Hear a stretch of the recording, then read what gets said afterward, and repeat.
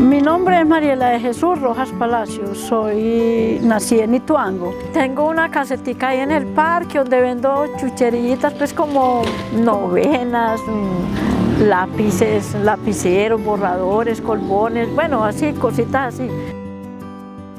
Llevo 36 años viviendo en la casita de donde hoy me van a entregar la titulación de la escritura. Y hace mucho tiempo estaba esperando este momento.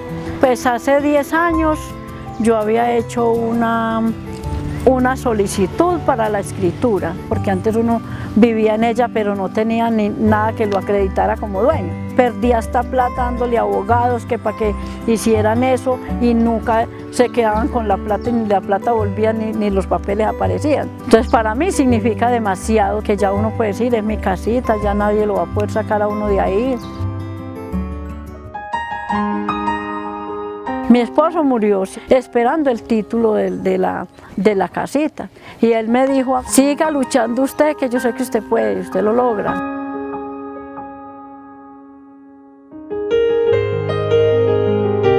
Yo cuando me dijeron, yo dije, no, no, yo no la creo.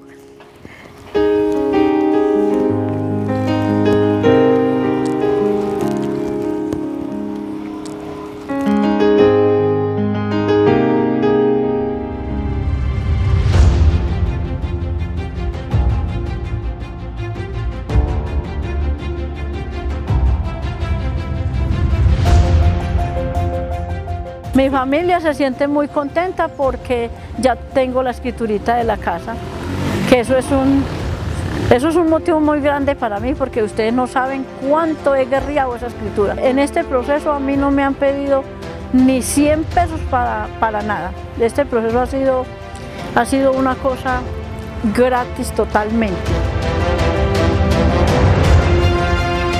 Ya son los propietarios verdaderos de ese predio ya tienen acceso a mejoramientos de vivienda, préstamos bancarios, muchos otros programas institucionales. Esto fue un convenio eh, con la Superintendencia de Notariado y Registro, Colombia Responde y el municipio. Ha sido un gran beneficio para este municipio, por lo que ya nos podemos trasladar a algunos sitios donde antes no podíamos ir.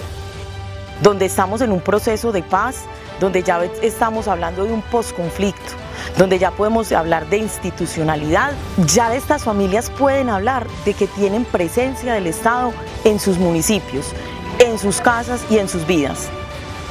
Llevaba 20 años luchando por tener este título que hoy es una realidad. Le doy muchas gracias, muchísimas gracias a todas las personas que me hicieron realidad este sueño y todas las entidades que me hicieron realidad este sueño. Muchísimas gracias a todos.